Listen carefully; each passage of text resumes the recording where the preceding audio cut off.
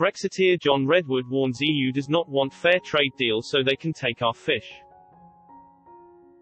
Brexiteer John Redwood has accused the European Union of deliberately standing in the way of a fair Brexit trade deal and insisted it was now time for an independent UK.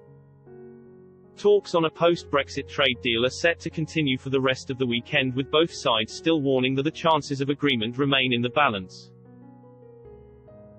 Both Downing Street and the European Commission said the negotiations were still ongoing, but that significant differences remained over fisheries and the so-called level playing field rules. But Mr. Redwood said the EU was not interested in agreeing to a fair deal. The Tory former minister tweeted, the EU has made clear they do not want a fair free trade agreement. They want to control our laws, stop us backing our business, and take our fish. Time for an independent UK. The European Parliament has been pressing for an agreement by Sunday so it can ratify any deal before the current Brexit transition period ends on December 31st. But it is thought EU leaders could provisionally sign off on a deal if the talks go on beyond that point, with formal ratification taking place in the new year. In the UK, MPs are on standby to return to Westminster from their Christmas break if an agreement can be struck in the final days of the year.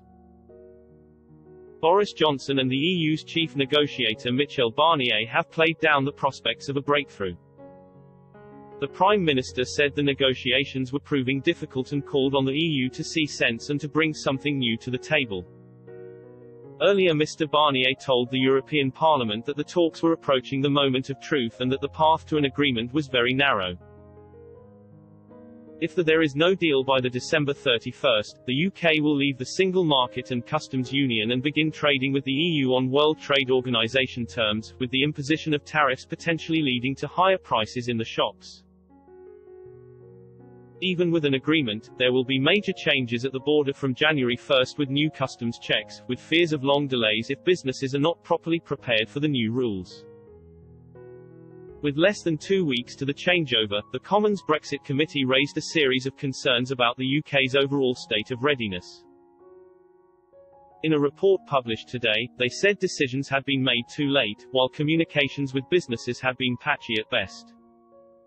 Committee Chair Hilary Benn said the government still could not provide business, traders and citizens with certainty about what would happen.